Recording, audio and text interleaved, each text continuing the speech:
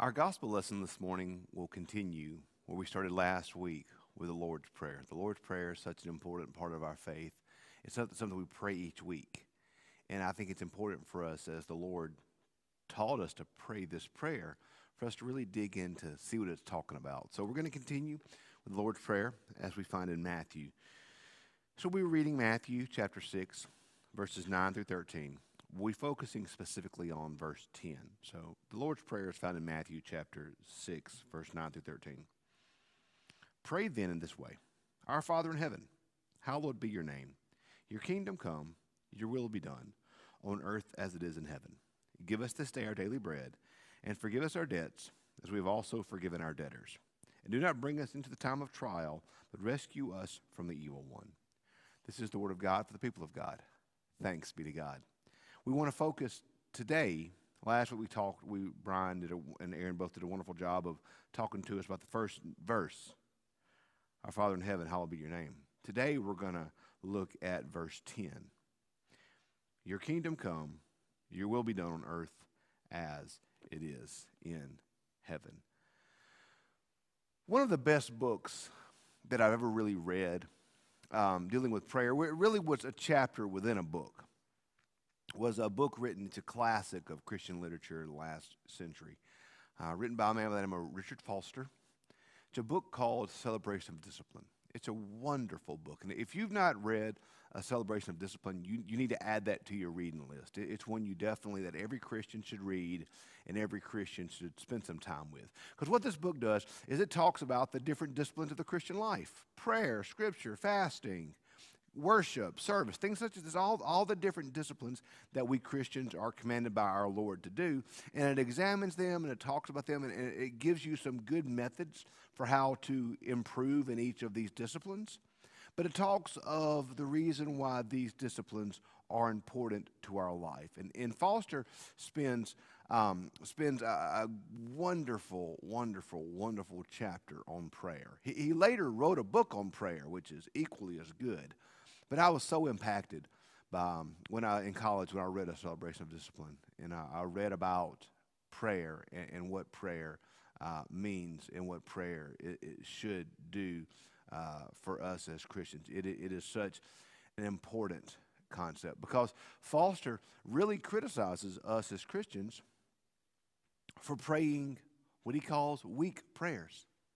We, we, we pray weak prayers because so often our prayers are like, particularly our intercessory prayers, are like, um, Lord, you know, do this, you know, if it's your will. Or Lord, Lord, you know, I don't want to overstep here, but if you would be so gracious as to do this, you know, would you, if it's your will? We always add if it's your will. And that's, I understand where that comes from. I do the same thing because we always want to approach God with humility. We want to approach our, our prayer life with humility.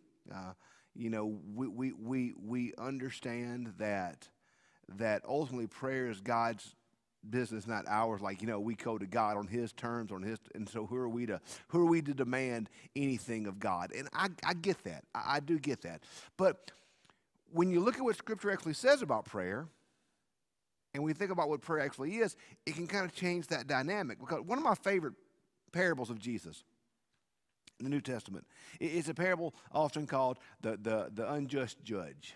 There's this parable Jesus tells about um, this, uh, this widow who has a complaint that she makes to this judge. And the, the Bible has this great line. It says that this judge, he feared neither God nor man. But this widow came to him over and over and over and over again with her concern and with her request. And the scripture says that this, God, this judge, though he feared neither God nor man, granted her request because she would not leave him alone. Then Jesus says we should pray in the same way. We should pray in the same manner. We should be so persistent in our prayers that we wear out God that, that we should just come to God over and over and over and over and over and over and again in our prayers. We should pray boldly. We should ask boldly because the Bible says that God will grant us the desires of our heart. Once again, you got to keep that in context because what Scripture says is that God will grant us the desires of our heart. But Scripture says that God will first change our hearts and that God will grant our desires of our hearts because our heart's desires will be God. We will desire God. we will desire what He wants. And our, God will bring our will in line with His will. So, what will happen is that the things that we desire within our hearts will be the things that God desires for us. When our will is brought perfectly in line with God's will, as we become sanctified and holy, then what we desire will be what God desires for us. So if I'm praying, Lord, grant me a Ferrari, you got to ask, is that really in line with God's will? Is that really what God's desiring for me? Does God desire for me to have a Ferrari? Or does God desire for me to know Him better, to love Him more, and to serve Him more, and to be in a better relationship with Him? Well, obviously, He wants me to know Him more. So, we, uh, we have not because we ask not, is what Foster reminds us of in his book. So I think of that in regard to our Lord's Prayer today. Because I talked of how Scripture says we should pray, but then there's another concept that Foster talks about in this book. It talks about how uh, the relationship between a parent and a child goes.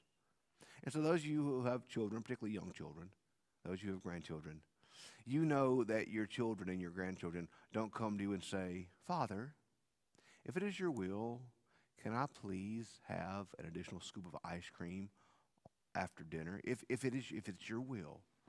Father, can, can, can I please have a rainbow unicorn for my birthday? If, if, if it's your will. No, of course not. A child asks boldly of their parents or of their, of their grandparents, especially. They ask boldly.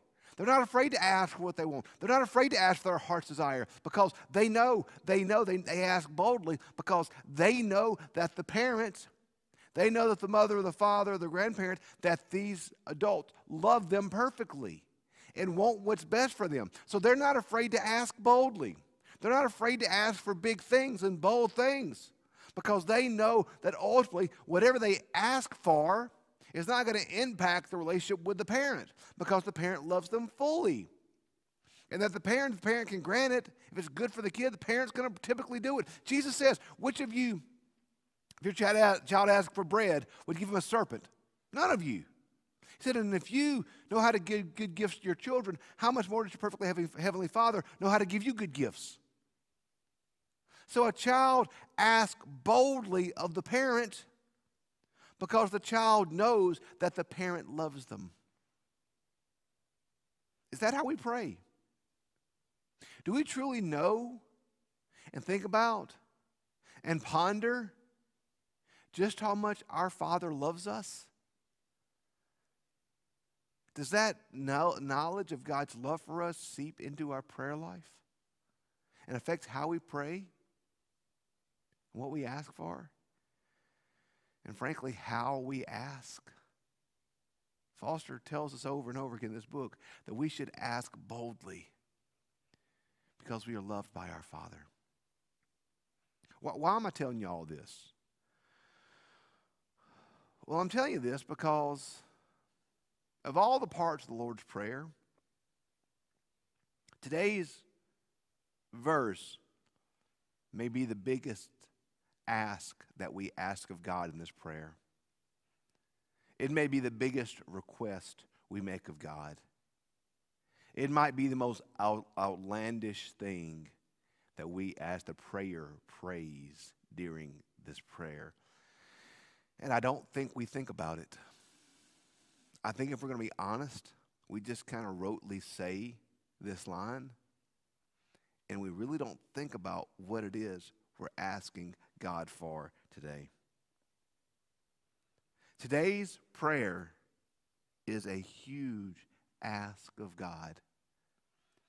And we need to be very careful when we pray it. We need to really think about what it is we're asking of God. One of my, one of my favorite things I was always told about Wesley was that when someone was, was converted at one of his revivals, he wouldn't always accept the conversion on the spot but he would make the person go home and sleep and come back the next day and reaffirm that commitment. Or he would make them go for a walk around the block and come back and reaffirm that commitment because he, he really he wanted them to think about what it meant to truly accept Jesus Christ as Lord. What does it truly mean to really ask Jesus Christ to be Lord of your life. Wesley wanted the individual to truly think about that and truly ponder what that meant in their life and in their faith. Today, we're asking for God's kingdom to come upon the earth. We're asking for God's will to be done perfectly upon earth like it is in heaven. We're asking for the messianic kingdom to come perfectly, the perfect kingdom that we see in Revelation. When it says that God will wipe away every tear from our eye, we're asking for God's kingdom to come, Maranatha, the Lord. And we're like, that sounds awesome. We love that. Wouldn't that be great? Wouldn't that be great if Jesus came back now and God's kingdom was established now? And wouldn't that be awesome? Yeah, it would be. But if we're going to ask for God's kingdom to come upon the earth now, what we're really asking for is for God's kingdom to come within us now. For God's will to be done perfectly in us and through us now. Not just some theoretical them out in the world not just some theoretical world, but we're asking for God's kingdom to come and for God's will to be done here on the earth.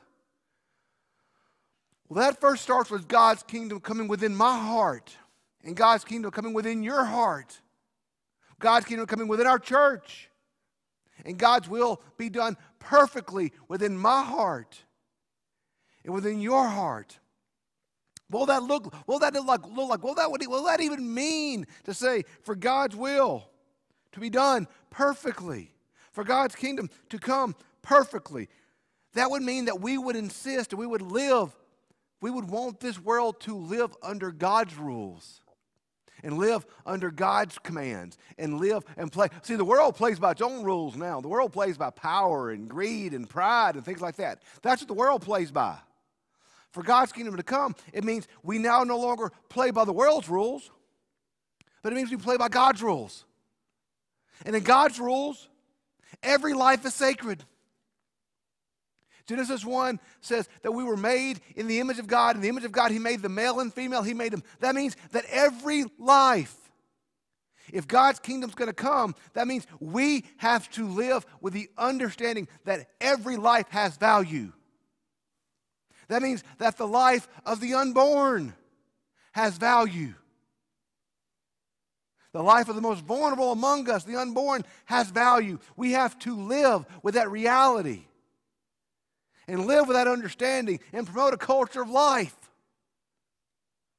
But it also means that so many of the divisions that we create within this world, divisions of race and class and things like that, have to go away.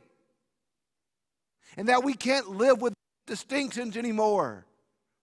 As Paul says, there's neither male nor female, Greek nor Jew, slave nor free, for we're all one in Christ.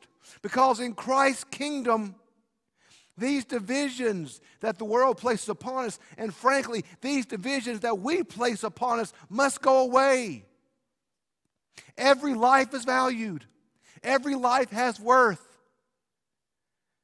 Do we really live like that? Do we want to live like that? I mean, that's gonna it's gonna upset the apple cart, isn't it? See, here's the thing when we live by God's kingdom, we live with His will being done perfectly on earth as it is in heaven, is he goes from preaching to meddling. That's why this is a, a big ask. And frankly, it's not just a big ask of God, but it's a big ask of us. Are we really, really living, willing to live like that? Do we really want to live with every life being of sacred worth? In God's kingdom, our relation to Him is primary. But that's the primary relationship in our life, the primary determining factor of our life. And so, for his kingdom to come perfectly upon the earth, that means that our relationship with God is going to be the directing force of everything in our life. Not earthly success, our finances, our glory, or anything like that. But our relationship with Him will be the determining factor and the primary motivator, the primary factor of every part our life. To play by God's rules means that we come to the understanding as well that all of life is about worshiping Him. The Bible says that He wants a living sacrifice. He says, You, want, he said, you honor me with the words, but your hearts are far away. To play by God's rules means that we understand the truth of Colossians 3.17. And everything you do in word or deed, do it to the glory of God the Father through Jesus Christ the Son. That, that not just every action must be seen and filtered through our relationship with God being the primary impactor, but that everything we do, everything we do, is an act of worship to God. Everything we do should give glory to God. Everything, every, there's not a single thing in our life that we should be doing that is not about bringing God glory. If His kingdom's going to come and His will's going to be done, then our entire purpose of life is to give God glory. That's it. That's it. Not to give me glory, not to do things that are good for me or make me look good, not to grow my success, but to give glory to God.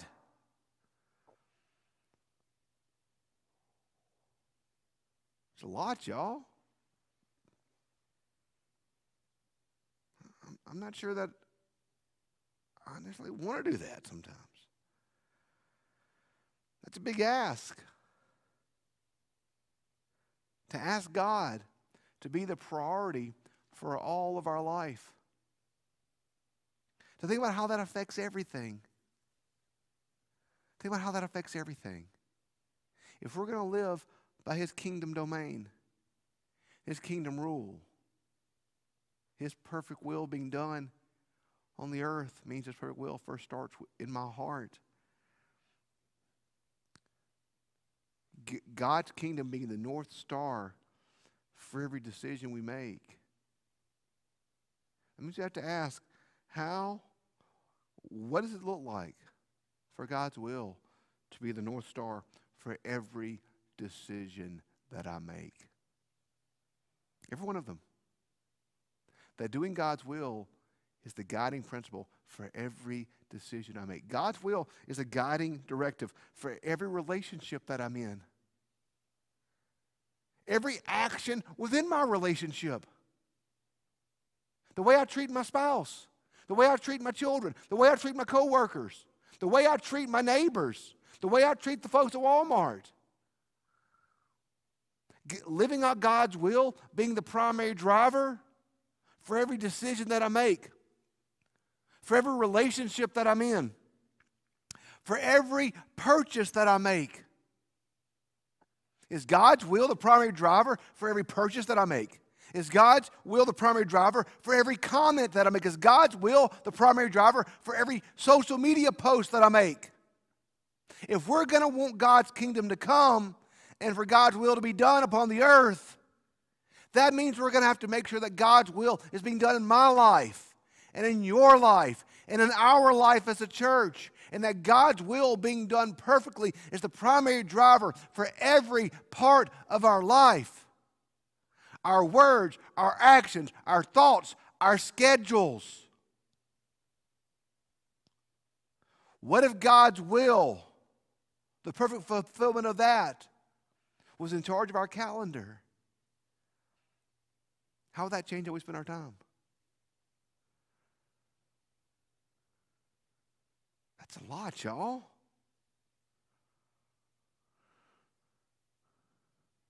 And when we think about that, we think, well, I don't, I can't live like that. that's where I think that passage I said earlier, Colossians 3.17 is so important where Paul writes, In everything you do in word or deed, do it to the glory of God through Jesus Christ the Son. God's not calling us necessarily. Now, maybe He is calling. I'm not going to presuppose what the Holy Spirit's calling you to do. Maybe the Spirit is calling you to this. But for most of us, I doubt the Spirit is calling us to withdraw from human society like the early desert fathers and mothers who moved out into the deserts of Egypt. I don't know that God's actually calling us to that. But he is calling us to live under that directive of Colossians 3:17. In everything we do in word or deed, do it to the glory of God the Father, through Jesus Christ the Son. Everything we do, everything we do, y'all, everything we do is done to the glory of God the Father through Jesus Christ the Son. That's what it means ultimately for his kingdom to come and for his will to be done. Is that everything we do, every action, every thought, every purchase, everything, everything is done for God's glory through Jesus Christ the Son. All of our life is a gift of worship to God. All of it. From the moment we wake up in the morning to the moment we go to bed at night. Our work, our play, all of it. It's a gift of worship. Worship is not just an hour on Sunday mornings, y'all. The Bible says we are a living sacrifice. All of our life, all of our life, all of our life is worship. All of it. Every last moment is a gift of worship to God. All of our life is a gift of service to God. The little things, y'all. It, it, God's not. I mean, once again, I don't want to say that God's not calling you to something big, but sometimes the most Christian thing you can do is be nice to the checkout girl at Walmart. Sometimes the, the, not, the most Christian thing you can do is let somebody out in traffic. Sometimes the most Christian thing you can do is refrain from wrath or anger. Sometimes the most Christian thing you can do is to not send the email and just take a moment and think about it before you hit send. Sometimes the most Christian thing we can do is apologize. Sometimes the most Christian thing we can do is just tell somebody you love them. Rich Mullins, my favorite Christian singer, said one time that sometimes raking your neighbor's yard is the most spiritual act you'll ever do. To live giving glory to God with all things means that it affects every act of service in our life. All of life is worship. All of life is service. Because after all, isn't the greatest commandment to love the Lord our God with all of our heart, soul, mind, and strength, and love our neighbor as we love ourselves? To worship God and to serve our neighbor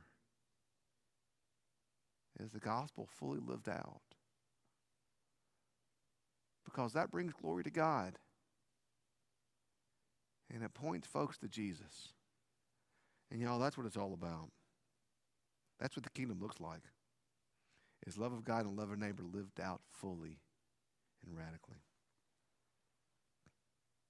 Now, yeah, this is a this is a big ask, y'all. It is. It is. This is this is us basically asking to reformat our life and live by different principles in the world and live by different different guiding principles in the world.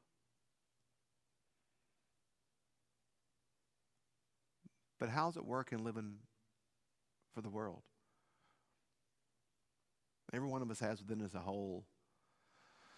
I've heard it called, but many people, a God shaped hole that we fill with stuff.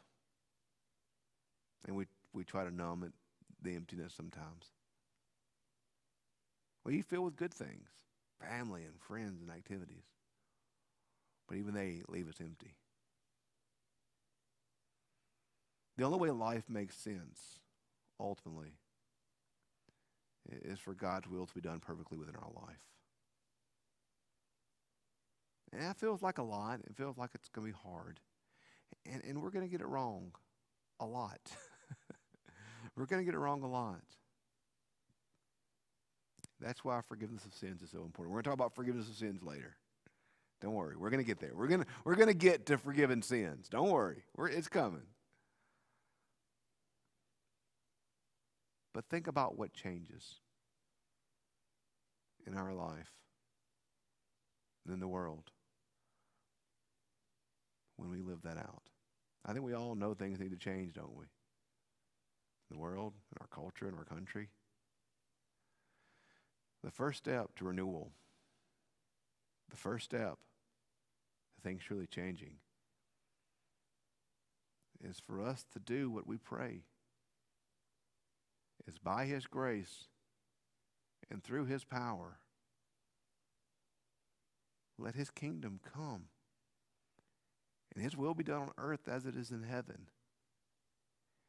In this world, yes. In our church, yes. In you, yes. But first, Lord, in me. First, Lord, in me. May his kingdom come within me. May his will be done within me. And think what happens when we all do it. That's when revival comes. That's when renewal comes. Thy kingdom come, thy will be done. Lord, may it be so. Let's pray. Father God, we thank you for the gift of this prayer that you taught us to pray. God, and may we understand what it is we're praying. May we understand the power within these words. And may we live them out fully today in each day of our lives. We love you. We ask it in Christ's sweet and holy name. Amen.